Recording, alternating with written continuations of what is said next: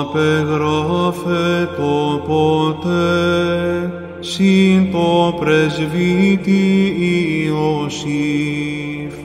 Ως εξπέρματος Δαβίδ εν Βιθλέμι Μαριάν κυοφορούσα την άσπορον κυοφορίαν επέστη δε καιρός της γεννήσεως και τόπος ειν ουδής στο καταλήμματι άλλος τερπνών παλάτιων το σπήλαιον τη βασιλίδη εδείκνητο Χριστός γεννάται την πριν πεσούσαν αναστήσον εικόνα.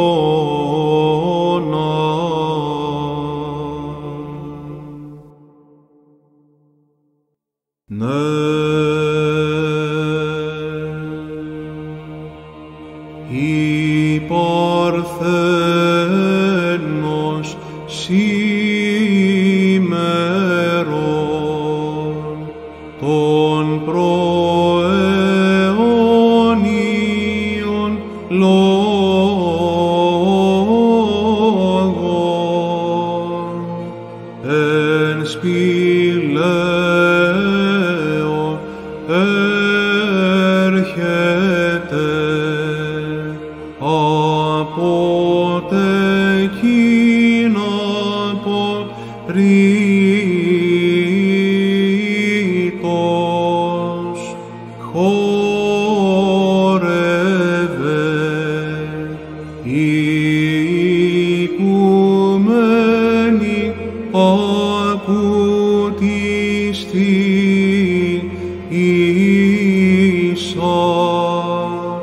δόξασον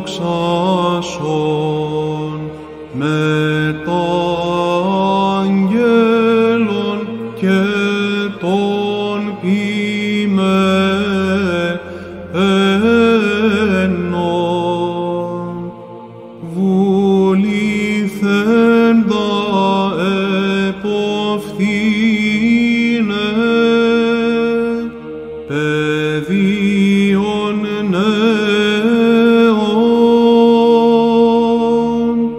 των προαιώνων Θεών.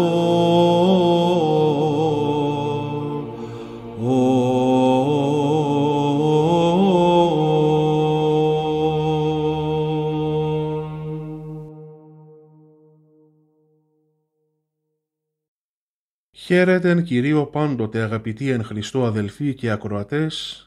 Με την χάρη του Θεού είμαστε μαζί σε μία ακόμη εκπομπή και σήμερα θα μιλήσουμε για το τι εορτάζουμε την παραμονή των Χριστουγέννων 24 του μηνός Δεκεμβρίου. Αν είστε νέοι επισκέπτες στο κανάλι μας, πατήστε την δωρεάν εγγραφή σας, καθώς και το καμπανάκι εκεί που λέει όλες τις ειδοποιήσεις, για να λαμβάνετε όλα τα ψυχοφελή βίντεο τα οποία ανεβάζουμε προς δόξαν Θεού. 24 του μηνός Δεκεμβρίου εορτάζουμε την παραμονή της γεννήσεως του Κυρίου και Θεού και Σωτήρος ημών Ιησού Χριστού και την μνήμη της Αγίας Παρθενομάρτυρος Ευγενίας και των συν αυτή μαρτυρισάντων. Η γέννηση του Σωτήρος Χριστού από την Παρθένο Μαρία είναι ένα παράδοξο μυστήριο, αφού είναι πέρα από τα όρια κάθε ανθρώπινης λογικής. Το παράξενο τούτο μυστήριο ήταν προαιωνίως στο σχέδιο του Θεού και το προείδαν πολλά χρόνια πριν από την πραγματοποίησή του οι θεόπνευστοι προφήτες, όπως ο Ισαΐας που είπε «Ιδού η Παρθένος εν γαστρή έξι και τέξεται Υιόν και καλέσει το όνομα αυτού Εμμανουήλ». Η Παρθένος δηλαδή θα συλλάβει στην κοιλία της και θα γεννήσει Υιό και θα τον ονομάσει Εμμανουήλ. Εμμανουήλ στα ελληνικά σημαίνει «Ο Θεός με θυμών», «Ο Θεός είναι μαζί μας». Και γεννήθηκε ο Χριστός μας, όταν ήλθε το πλήρωμα του χρόνου. Η γέννηση του Χριστού είναι γεγονός ιστορικό και αναμφισβήτητο εν Βιθλεέμ της Ιουδαίας στα χρόνια του Αυγούστου Κέσαρος και επέφερε βαθύτατη τομή στον χρόνο. Μετά από την γέννηση του Θεανθρώπου, τα διάφορα γεγονότα χαρακτηρίζονται ότι έγιναν προ Χριστού και μετά Χριστόν. Το δεύτερο πρόσωπο της Αγίας Τριάδος, ο Κύριος ημών Ιησούς Χριστός, που υπάρχει προτού να δημιουργηθεί ο κόσμος και είναι υπερούσιος, δηλαδή άειλος και απρόσιτος, απροσπέλαστος, απλησίαστος, παίρνει σάρκα και οστά και γεννιέται εν το σπηλαίο ως πεδίων νέων για την δική μας σωτηρία. Γεννιέται ο κτίστης του κόσμου ως άνθρωπος ταπεινός ή να αναβιβάσει εις ύψος του ανθρώπινων. Ο Θεός μας γίνεται άνθρωπος για να κάνει τον άνθρωπο Θεό, το θήτα μικρό, όπως λέει ο Μέγας Αθανάσιος, για να μας κάνει δηλαδή παιδιά Του. Ο Χριστός μας λένε οι πατέρες της Εκκλησίας ότι είναι αμήτωρ εν ουρανό και απάτορ επί της γης. Γεννήθηκε δηλαδή από τον Θεό Πατέρα προαιωνίως στον ουρανό, προτού να χτιστεί ο κόσμος, προτού να δημιουργηθούν τα πάντα, προαιωνίως άναρχος ο Χριστός μας, συνάναρχος με τον Πατέρα και το Πανάγιο Πνεύμα. Στον ουρανό λοιπόν ο Χριστός γεννήθηκε από τον Θεό Πατέρα χωρίς μητέρα και στην γη είναι απάτορ επί της γης, το οποίο σημαίνει ότι γεννήθηκε από την υπεραγία Θεοτόκο χωρίς την επέμβαση ανδρός, εκ πνεύματος Αγίου. Το γεγονός της γεννήσεως του Θεανθρώπου Σωτήρος δηλώνεται από το λαμπρό και φωτεινό αστέρι που οδήγησε τους τρεις μάγους, αυτούς τους τρεις αστρονόμους, για να προσκυνήσουν τον Χριστό στην Βιθλεέμ, οι οποίοι ήρθαν από την Περσία. Επίσης οι άγγελοι μαζί με τους βοσκούς δόξασαν τον Θεό και δοξολογούν το μέγα μυστήριο της άκρας συγκαταβάσεώς Του. Και το μυστήριο αυτό της κένωσης της άκρας συγκατάβασης του Χριστού εκφράζεται με το ευτελές και ταπεινό σπήλαιο, τα σπάργανα και την φάτνη των αλόγων ζώων. Τι αυτή η μέρα μνήμη της Αγίας ενδόξου ως ο Παρθενομάρτυρος Ευγενίας και τον συν αυτή μαρτυρισάντων Φιλίππου του πατρός αυτής, Πρωτά και Ιακίνθου των δούλων και συνασκητών αυτής και Βασίλας. Η Αγία και ένδοξος Μάρτης Ευγενία γεννήθηκε στην Ρώμη επί βασιλείας Κομόδου, σε αρχοντική και πλούσια οικογένεια. Ο πατέρας της Φίλιππος ήταν δικαστής και παρότι ήταν ειδωλολάτρης έτρεφε συμπάθεια για τους χριστιανούς. Διορίστηκε από τον αυτοκράτορα έπαρχος Αλεξανδρίας. Μετακόμισε στην πρωτεύουσα της Αιγύπτου με όλη του την οικογένεια και εμπιστεύθηκε την ανατροφή και μόρφωση της ευγενίας στους καλύτερους διδασκάλους. Μελετώντας η νεαρή κόρη, διάβασε στις επιστολές του Αποστόλου Παύλου το παρακάτω απόσπασμα. «Πού σοφός, πού γραμματεύς, πού συζητητής του αιώνος τούτου, ουχή εμόρανεν ο Θεός την σοφίαν του κόσμου τούτου, επειδή γαρ εν τη σοφία του Θεού ουκ έγνω ο κόσμος δια της σοφίας των Θεών, ευδόκησεν ο Θεός δια της μορίας του κηρύγματος, σώσε τους πιστεύοντας. Εμείς δε κηρύσσομεν Χριστόν εσταυρωμένων. Ιουδαίης μεν σκάνδαλον, έλυση δε μορίαν, αυτής δε της κλητής, Ιουδαίης τε και έλυση, Χριστόν Θεού δύναμην και Θεού σοφίαν, ότι το μωρόν του Θεού σοφότερον των ανθρώπων εστί και το ασθενές του Θεού ισχυρότερον των ανθρώπων εστί. Πρώτη προς Κορινθίους, κεφάλαιο 1, 20 έως 25. Πού υπάρχει σοφός, πού υπάρχει γνώστης και διδάσκαλος των γραφών, πού υπάρχει διαλεκτικός αυτού του κόσμου, δεν απέδειξε ο Θεός μορία, δηλαδή ανοησία, την σοφία αυτού του μάταιου κόσμου; Επειδή δε ο κόσμος, παρά την σοφία του Θεού, δεν γνώρισε με την σοφία το Θεό, ο Θεός αποφάσισε να σώσει όσους πιστεύουν με την μορία του κηρύγματος. Επειδή και οι Ιουδαίοι απαιτούν σημείο και θαύμα και οι Έλληνες ζητούν σοφία, γι' αυτό και εμείς κηρύσουμε Χριστό εσταυρωμένο, που για τους Ιουδαίους είναι σκάνδαλο, για δε τους Έλληνες είναι μορία.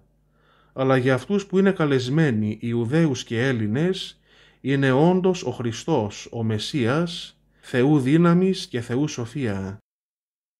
Μπροστά σε τέτοια πύρινα λόγια, πώς να επιμένει στην μελέτη της στήρας φιλοσοφίας του κόσμου τούτου και στις μάταιες ασχολίες; Υφάρπασε την καρδιά της ο πόθος της αληθού σοφίας, του Λόγου του Θεού, του σαρκοθέντος και σταυρωθέντος για την σωτηρία των ανθρώπων. Η Ευγενία τότε αποφάσισε να μην καθυστερήσει να γίνει χριστιανή. Μέσα σε μία νύχτα εγκατέλειψε την πατρική αιστεία της, συνοδευομένη από δύο αφοσιωμένους υπηρέτες της, τους ευνούχους Πρωτά και Ιάκυνθο, οι οποίοι είχαν και εκείνοι αποφασίσει να γίνουν χριστιανοί. Οι τρεις τους κατέφυγαν λίγο έξω από την πόλη, σε ένα μέρος που οι χριστιανοί χρησιμοποιούσαν ως ναό για τις συνάξεις και τις προσευχές τους. Τους συμβούλευσαν να ζητήσουν καταφύγιο εκεί κοντά σε μια κοινότητα όπου εγκαταβίωναν από κοινού χριστιανοί, αφιερωμένοι στην παρθενία και στην άσκηση. Διέλαμπε ανάμεσά τους ο Άγιος Επίσκοπος Έλενος, που είχε γίνει ονομαστός γιατί εισήλθε χωρίς να πάθει τίποτε απολύτως σε εφλεγωμένη κάμινο για να αναιρέσει τους ισχυρισμούς ενός ειδωλολάτρη μάγου. Η Αγία Ευγενία έκοψε τα μαλλιά της, φόρεσε ανδρικά ενδύματα, υποκρίθηκε ότι ήταν ο ευνούχος Ευγένιος που είχε έλθει από την Ρώμη μαζί με τους δύο συντρόφους του. Ο Έλενος, στον οποίο ο Θεός είχε αποκαλύψει με όραμα την αλήθεια, τους δέχθηκε με χαρά και αφού τους βάπτισε κρυφίως, τους παρέδωσε στον ηγούμενο της αδελφότητας Ευτρόπιο, ο οποίος τους κατέταξε μεταξύ των μοναχών του. Και οι τρεις έδειξαν υποδειγματικό ζήλο, ιδίως η ευγενία, της οποίας ο διάπειρος θείος πόθος τόσο κατέπληξε τους συμμοναστές της, ακόμη και τους πλέον έμπειρους, ώστε μετά από τρία χρόνια ασκητικού βίου εξελέγει από τους αδελφούς για να διαδεχθεί τον ηγούμενο ο οποίος είχε κοιμηθεί. Με υποταγή και φόβο Θεού η Ευγενία δέχθηκε να γίνει πάντων διάκονος κατά την προαίρεση του Κυρίου. Γι' αυτό, πέρα από τα καθήκοντα διοίκησης της αδελφότητος και πνευματικής καθοδήγησης των αδελφών, ανελάμβανε τα πιο κοπιαστικά διακονήματα, κουβαλούσε το νερό, έκοβε τα ξύλα, καθάριζε τους χώρους. Το κελί της ήταν το πιο μικρό και άθλιο και νυχθημερών η ευγενία αφιέρωνε όλες τις δυνάμεις της στην υπηρεσία του Θεού και των συμμοναστών της. Μια πλούσια και επιφανής Αλεξανδρινή, η Μελανθία, άκουσε να εκθιάζουν τις αρετές και τα θαύματα που επιτελούσε ο ηγούμενος Ευγένιος και τον οικέτευσε να την επισκεφθεί και να την λυτρώσει από την ασθένεια που την βασάνιζε εδώ και χρόνια ενέδωσε τελικά στις παρακλήσεις της η Ευγενία, την επισκέφθηκε και την θεράπευσε, χρήοντάς της με Άγιο έλεο. Ο φθονερός δαίμονας όμως άρπαξε την ευκαιρία για να εμφυσίσει στην καρδιά της μελανθίας παράφορο πάθος για τον νεαρό και ευηδή μοναχό. Υποκρίθηκε ότι έπασχε εκ νέου και κατόρθωσε να κάνει την ευγενία να την επισκεφθεί για δεύτερη φορά και επιχείρησε τότε να την παρασύρει στην αμαρτία. Δίχως να φανερώσει το μυστικό του ο Ευγένιος, την απόθυσε στεναρά. Της υπενθύμησε την ιερά υπόσχεση που δίνουν οι μοναχοί να διατηρήσουν την παρθενία ψυχής και σώματος και έτσι έφυγε. Η αποτυχία γέμισε την μελανθία αισθήματα εκδίκησης και η πονηρή γυναίκα διακήρυξε παντού ότι ο ηγούμενος Ευγένιος την επισκέφθηκε και την ατίμασε. Η φήμη έφτασε στα αυτιά του επάρχου Φιλίππου, ο οποίος μη τολμώντας να αμφισβητήσει τα λεγόμενα ενός προσώπου τόσο υψηλής κοινωνικής θέσεως, κάλεσε σε απολογία τον Ευγένιο και τους μοναχούς του. Τότε σιδηροδέσμια και κατηγορουμένοι Για την επονίδιστη αυτή πράξη η Ευγενία αποφάσισε να φανερώσει όλη την αλήθεια για να μην δώσει στον μισόκαλο διάβολο την ευκαιρία να σπηλώσει το μοναχικό σχήμα. Ξεσκίζοντας τον χιτώνα της μπροστά στον κατάπληκτο κόσμο που είχε μαζευτεί, αποκάλυψε ότι ήταν γυναίκα που κρυβόταν πίσω από ανδρική ταυτότητα ώστε να μπορεί να αγωνίζεται πιο ένδοξα για την αρετή και στρεφωμένη προς τον έπαρχο ομολόγησε ότι ήταν η κόρη του Ευγενία που παρόλα τα χρόνια νόμιζαν ότι είχε χαθεί. Γεμάτη χαρά που ξαναβρήκαν την κόρη τους και δέος για τα θαυμάσια που επιτελεί ο Θεός, ο Φίλιππος, η σύζυγός του Κλαβδία και τα άλλα δύο παιδιά τους, Άβιτας και Σέργιος, ασπάστηκαν την χριστιανική πίστη και έλαβαν το Άγιο Βάπτισμα μαζί με πολλούς από τους εθνικούς που ήσαν παρόντες. Πολύ σύντομα μάλιστα ο Φίλιππος χειροτονήθηκε επίσκοπος και κυβερνούσε την πρωτεύουσα της Αιγύπτου σύμφωνα με τις Ευαγγελικές επιταγές και στα εγκόσμια και στα πνευματικά, μέχρι που έναν χρόνο αργότερα φθονεροί ειδωλολάτρες τον κατήγγυλαν στον αυτοκράτορα, ο οποίος τον καθαίρεσε από το αξίωμα του επάρχου και στην θέση του τοποθέτησε τον σκληρόκαρδο Τερέντιο, με εντολή του οποίου δολοφονήθηκε ο Φίλιππος την ώρα που προσευχόταν στο ναό. Μετά από την κηδεία, η Ευγενία, η Κλαβδία, ο Πρωτάς και ο Ιάκυνθος επέστρεψαν στην οικογενειακή τους κατοικία στην Ρώμη και αφιερώθηκαν στην νηστεία και στην άσκηση. Η Βασίλα, μια νεαρή κόρη από αρχοντική οικογένεια που ποθούσε να γίνει χριστιανή, αλλά ο πατέρας της την κρατούσε κλεισμένη στο σπίτι, κατόρθωσε και έστειλε ένα γράμμα στην Αγία Ευγενία. Κατηχήθηκε από την Αγία, έλαβε κρυθείο στο Άγιο Βάπτισμα από τον Επίσκοπο της Ρώμης και συνδέθηκε με στενή φιλία με την Ευγενία, καθώς και εκείνη διακατεχόταν από τον πόθο της Παρθενίας. Μία από τις θεραπενίδες της όμως την κατήγγειλε στον μνηστήρα της κυρίας της Πομπίιο, ο οποίος μαθαίνοντας ότι η Βασίλα ήταν χριστιανή έγινε έξαλλος και παρέδωσε την μνηστή του στον Χριστομάχο Βασιλέα, ο οποίος διέταξε να την αποκεφαλίσουν. Συνέλαβαν κατόπιν τον Πρωτά και τον Ιάκυνθο, θέλοντας να τους αναγκάσουν να θυσιάσουν στον Δία. Όταν οι δύο υπηρέτες αρνήθηκαν, αποκεφαλίστηκαν και αυτοί. Κατόπιν συνέλαβαν και την Αγία Ευγενία, την έσυραν ενώπιον του επάρχου της πόλεως και κατόπιν την πήγαν στο ναό της ψευτοθεάς Αρτέμιδος για να την αναγκάσουν να θυσιάσει στα είδωλα υπό την απειλή θανατώσεως. Η Αγία όμως προσευχήθηκε και τα είδωλα καταγκρεμίστηκαν κατά γης και ο ίδιος ο ναός σύστηκε θέμελος, προκαλώντας μεγάλο φόβο στους παρισταμένους. Ο τύρανος διέταξε τότε να την ρίξουν στον Τίβερη, αλλά η Αγία Θαυματουργικός σώθηκε από τον πνιγμό.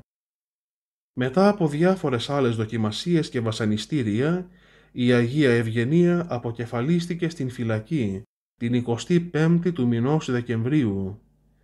Γεννήθηκε λοιπόν στην επουράνια και αιώνια ζωή την ημέρα που ο αθάνατος Υιός του Θεού έγινε άνθρωπος για την σωτηρία μας, για να μας χαρίσει την αιώνια αθανασία.